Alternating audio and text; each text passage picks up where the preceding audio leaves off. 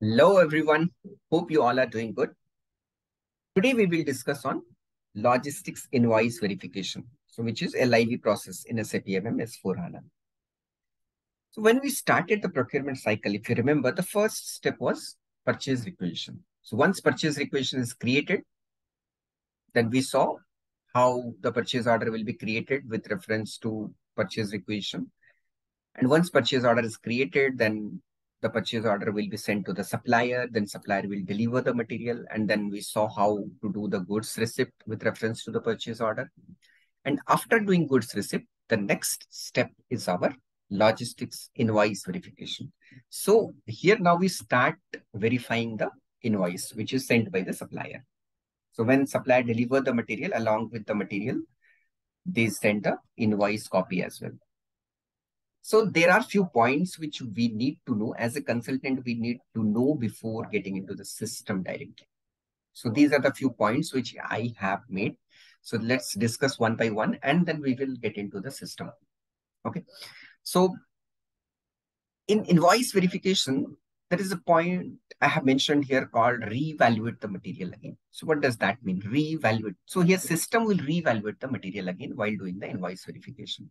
That means when we are creating a purchase order, for example, we have created a purchase order with the quantity of 50. 50 quantity you have mentioned in your purchase order, right? Now, when you are receiving the material, you are receiving the 50 quantity. And for th those 50 quantity, whatever cost was defined, it will be seen. For example, for 50 quantity, the cost was 5,000 in the purchase order. For 50 quantity, it was 5,000. So when you are receiving, you are receiving 50 quantity. So now cost is 5,000 rupees of the material you have received. Okay. But when you are receiving the material, after that, while receiving the invoice copy, if you have observed, when we receive the invoice copy, along with the cost of the material, there are few additional charges which is added in the invoice copy. So that can be your transportation charge, packing charge, taxes. So it can be anything. So there will be few additional charges which will be there in your invoice copy. So that means your system start reevaluating the material again. That means, and, and there won't be any impact on the quantity, remember because the quantity whatever you had ordered you have received that and with reference to that you are now doing the invoice verification. So your impact will be on value no impact on the quantity. Remember this. This, this is very much important point which we need to remember. Okay? The next step the next point is the document type. So what are the different document type we have in invoice verification? We have two type of document. One is accounting document and material document so we have seen while doing our invoice, uh, sorry, while doing our goods receipt also, we have seen there are two type of document generated and we saw the accounting entries as well, right? So here also we will be seeing the same uh, two different type of document. So what are those two different type of document? So if you remember, we have seen the document type for goods receipt was different, right? But for invoice verification, again, we have two document type. One is RE RE is the document type which is used for the accounting documents, accounting details. Okay. And the next one is RD. So RD is used for material document. So these are the two document type which we have in invoice verification. And the next one is number range. So we have seen in during goods receipt also number ranges are year dependent. So here also number ranges will be year dependent. So when we will start creating the number range, we will see additionally a new line will be added on that. So uh, along with the reference number and, and, the reference code, we see the um, column which will, where we mention the year and then finally the number range we define. Okay, so these are few points which we need to know. Now, apart from this, now we will discuss what are the different ways we can post the invoice or invoice can be done. So invoice can be done in different ways. So these are the few points which I have mentioned here. Like invoice can be done or it can be posted online or invoice can be posted through background job or uh, there is a, a, process of parking the invoice uh, process we have in invoice verification and then automatic settlement. So while doing automatic settlement, we have ERS, consignment, and the invoicing plan. So we will discuss in details what are uh, the meaning of invoice posting online, invoice posting background, and all. Okay.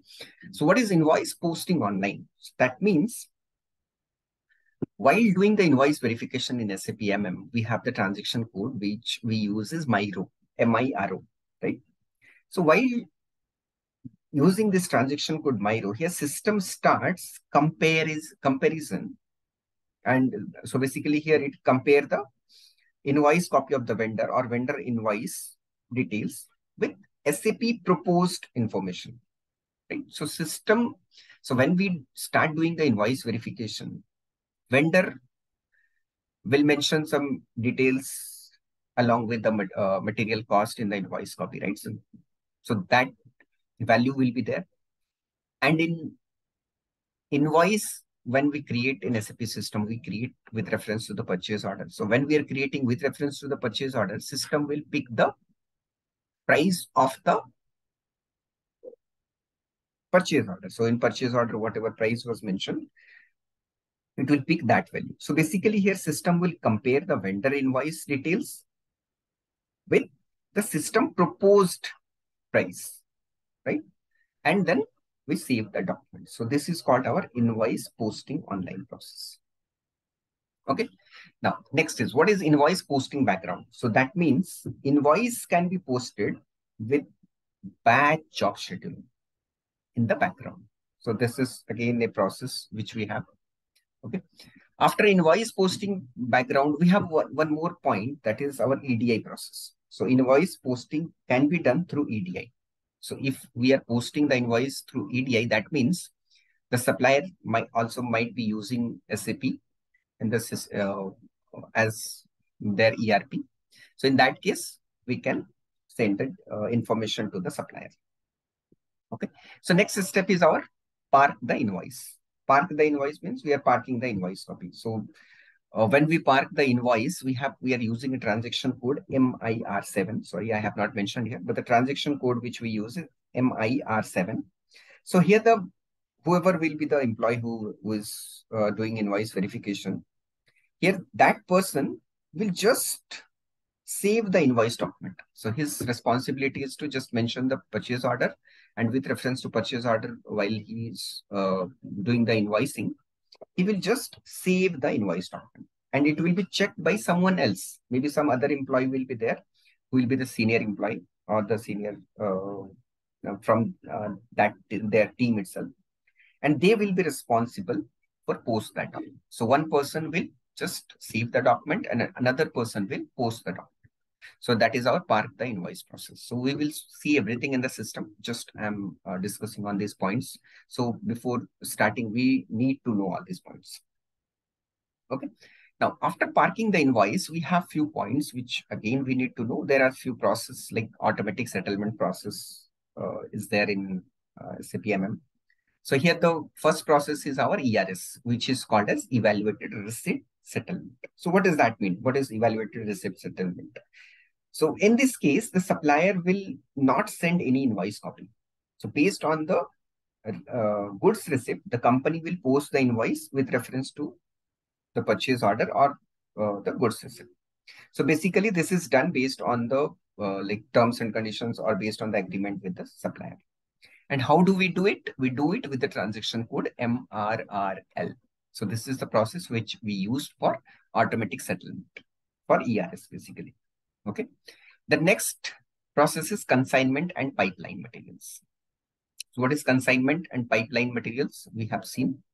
Now, how can we post it while doing the automatic uh, settlement or why do it?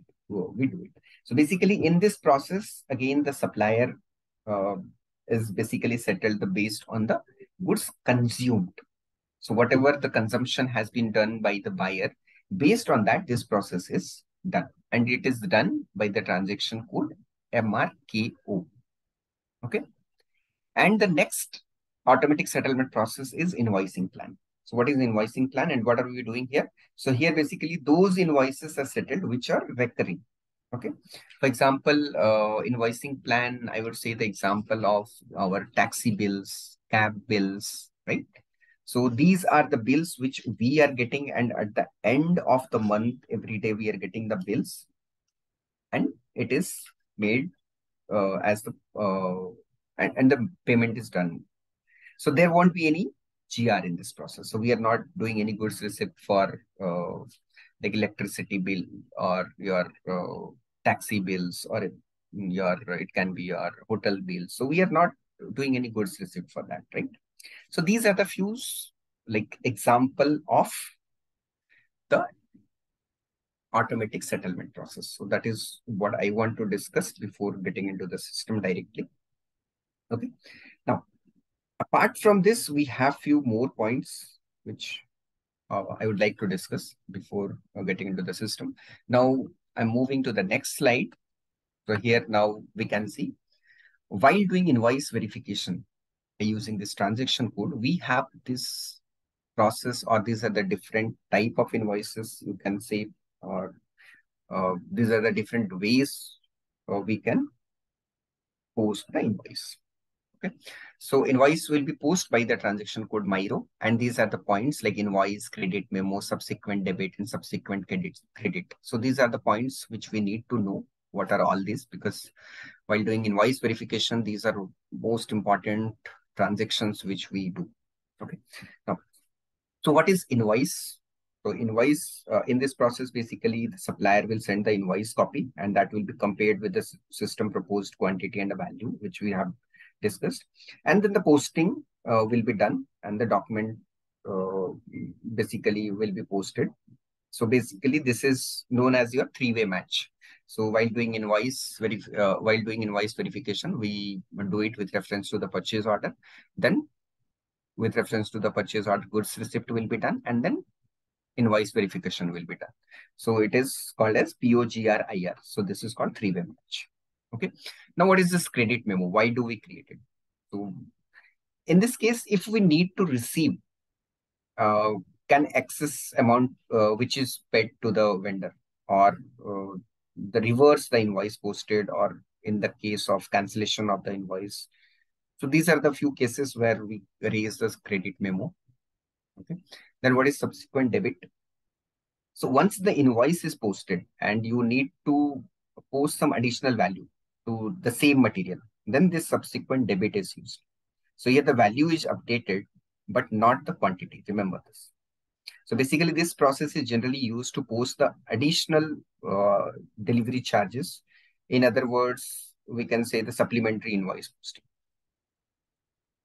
Okay, so that is our subsequent debit, which generally we use. So it is depend on your requirement. Based on that, we raise this or we create this document. And then subsequent credit. So subsequent credit means if any additional value need to be recovered from the vendor. Suppose you paid some additional amount and now you want to recover from the vendor.